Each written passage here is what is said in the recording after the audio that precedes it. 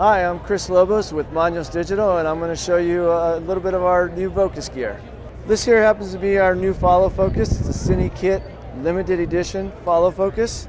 It's a very cool new piece with a palm support and a wood handle. Uh, allows, uh, allows you to get in underneath the lens now and clip on so you no longer have to remove your lens when you clip it on. It's got a lot of flexibility so it allows you to adjust uh, in and out of your drive gear and it also allows a lot of fine tuning of this. But uh, it's a very popular new piece from, from uh, Vocas, the new Follow Focus Cine Kit Limited Edition. This is our 255 matte box. Our new matte boxes are uh, a little more, they're all 114 millimeter back openings now.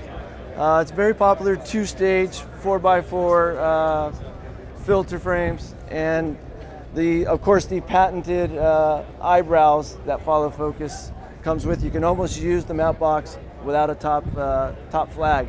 Our wood hand grips are very popular, very good feel, uh, allows somebody with a big hand, small hand to fit onto these. These are very popular, along with extenders.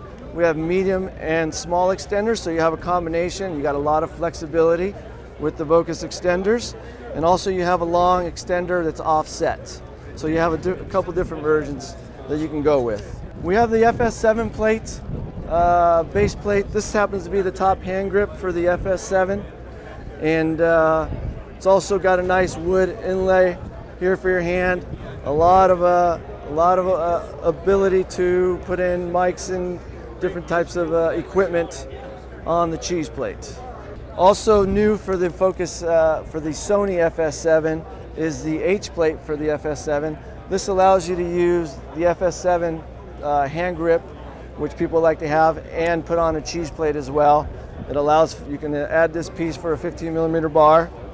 Um, the new handle extender for the FS7 as well. So instead of what before you had to go in there with the FS7 handle, and you have to use a couple screws to unscrew it. Now you can unlock it and extend your FS7 hand grip with just the turn of a wheel. It's very, very nice little piece. And of course for the FS7, we've also got new um, viewfinder brackets, which allow you to adjust the viewfinder bracket as well for the FS7 and get the right weight and position of your viewfinder. Uh, I'm Chris Lobos, thank you for watching this video. More information, please visit our website at www.digitalcinemacourse.com.